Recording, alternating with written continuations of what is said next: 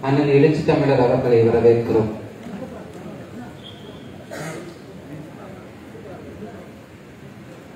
ஈழத்துக்கு வெளியிலே முதன் முதலாக நடைபெற்ற ஒரு பொதுக்கூட்டம் என்றால் ஐயா காசியானந்தன் ஐயா அவர்கள் ஒருங்கிணைத்ததால் பேரறிஞர் அண்ணா அவர்களை அழைத்து அன்றைக்கே சென்னை கடற்கரையிலே நிகழ்த்திய அந்த பொதுக்கூட்டம் தான் உலக அரங்கிலே ஈழத்திற்கு வெளியில் நடந்த முதல் பொதுக்கூட்டம்.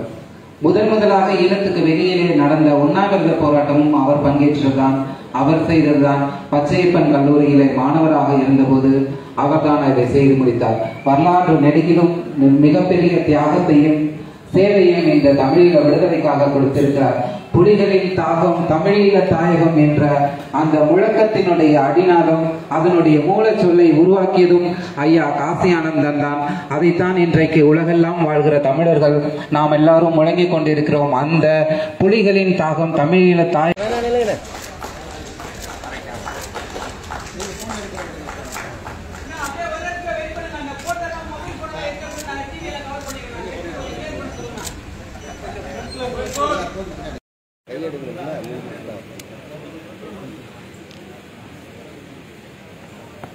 தாய் எல்லாரும் புக்கு கொடுங்க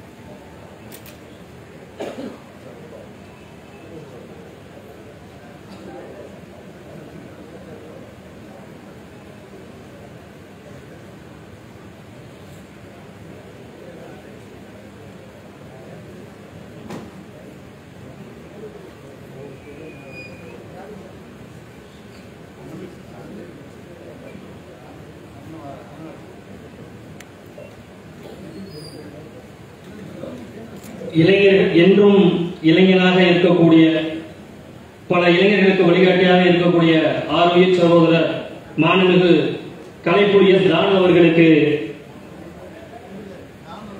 தானு அவர்கள் கவிஞர் அவர்களுக்கு பொன்னாடை போர்த்தி கௌரவிக்கிறார்